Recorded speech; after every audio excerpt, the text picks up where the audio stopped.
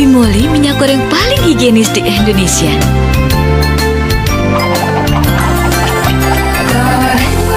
Bimoli paling higienis.